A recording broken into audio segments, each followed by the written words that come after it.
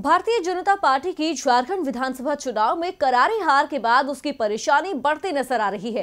एक तरफ़ सूबे में पहले ही इस्तीफों का दौर चल रहा है तो दूसरी तरफ़ बीजेपी को उसके सहयोगियों की तरफ़ से भी आईना दिखाया जा रहा है।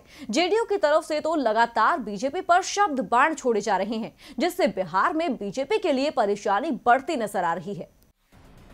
लोकसभा चुनाव में जीत के बाद एनडीए में जेडीयू ने शामिल होने से इनकार कर दिया था। वजह थी, एक से ज़्यादा मंत्री पद नहीं मिलना, जिसके बाद कई मौकों पर बीजेपी और जेडीयू में तलखियाँ सामने आई। लेकिन जब से झारखंड में बीजेपी को करारी हार का सामना करना पड़ा, तब से जेडीयू के ये तेवर और भी तीखे हो गए हैं। वो लगातार बीजेपी को खेल रही है। दो दिन पहले बीजेपी को गठबंधन धर्म सीखने की सलाह देने के बाद, अब जेडीयू ने कहा कि विधानसभा चुनावों में लगातार हार और सहयोगियों के बाहर जाने से एनडीए के अस्तित्व पर सवाल उठ रहे हैं।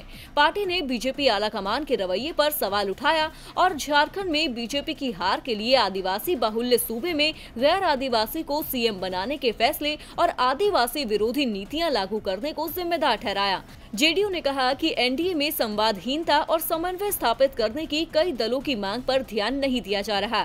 जेडीयू महासचिव के सी त्यागी ने कहा कि महाराष्ट्र और झारखंड के चुनाव परिणाम के बाद जिस प्रकार सहयोगी अलग हुए हैं, उससे एनडीए के अस्तित्व पर सवाल उठ रहे हैं। महाराष्ट्र विधानसभा चुनाव के बाद भाजपा ने अपने सबसे पुराने सहयोगी शिवसेना को खोया।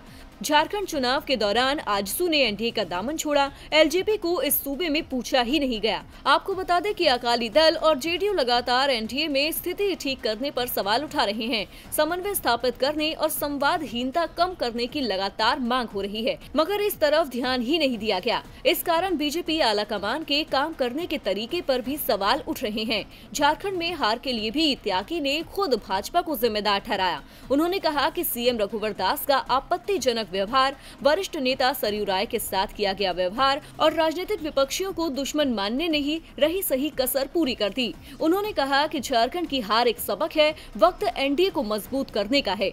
अब जेडीयू की तरफ़ से बीजेपी को सलाह भी दी जा रही है और सवाल भी उठ रहे हैं, जिसे बिहार विधानसभा चुनाव से पहले जेडीयू की दबाव वाली पॉलिटिक्स के तौर पर देखना गलत नहीं होगा। डीबी लाइव की रिपोर्ट।